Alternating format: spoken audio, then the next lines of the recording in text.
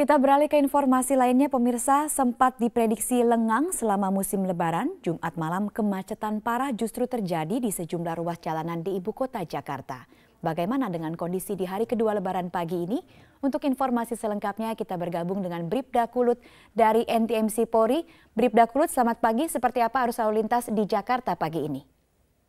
Baik Rike, arus lalu lintas di beberapa titik wilayah Jakarta pada saat ini terpantau cukup lengang. Langsung saja titik yang pertama kita akan menuju Bandara Soekarno-Hatta Tangerang. Untuk arus lalu lintas di terminal baik 1 maupun 2 Bandara Soekarno-Hatta yang akan menuju Jakarta masih dalam situasi ramai lancar. Bagi pengendara yang akan melintasi kawasan ini agar tetap berhati-hati terhadap adanya penyempitan jalan hingga pertemuan arus dari arah Terminal 2 Bandara Soekarno-Hatta dan kami himbau untuk tetap memperhatikan batas kecepatan kendaraan Anda. Dari Bandara Soekarno-Hatta kita beralih ke Bundaran Patung Kuda Tamrin. Arus lalu lintas dari Bundaran Hotel Indonesia yang menuju Harmoni maupun sebaliknya terpantau ramai cenderung lengang dan arus lalu lintas dari Jalan Budi Kemuliaan menuju Stasiun Gambir maupun sebaliknya juga terlihat lengang. Harap para pengendara untuk tetap waspada dengan tidak menerobos jalur Transjakarta dan himbau kepada para pengendara untuk berhenti di belakang garis stop. Dari Bundaran Patung Kuda Tamrin kita menuju ke Kuningan, Jakarta Selatan. Arus lalu lintas dari arah Cawang menuju Kuningan baik Semanggi di jalur arteri masih dalam situasi lancar.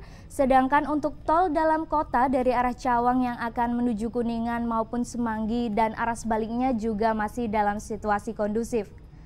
Kami menghimbau bagi para pengendara untuk khususnya sepeda motor agar tidak menggunakan jalur bus Transjakarta serta antisipasi laju kendaraan agar tetap mematuhi kecepatan maksimal.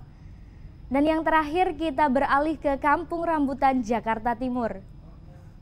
Arus lalu lintas dari terminal Kampung Rambutan yang akan menuju Cijantung masih ramai lancar dan arus lalu lintas dari terminal Kampung Rambutan yang akan memutar balik menuju Taman Mini terlihat adanya antrian bus antisipasi adanya pedagang kaki lima dan pejalan kaki yang menjadi salah satu faktor ketersendatan yang perlu diantisipasi.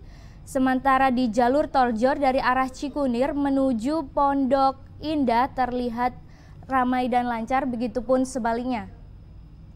Bagi Anda yang ingin mendapatkan informasi tentang kondisi arus lalu lintas terkini, Anda dapat menghubungi call center kami di 15669 atau melalui SMS center di 9119.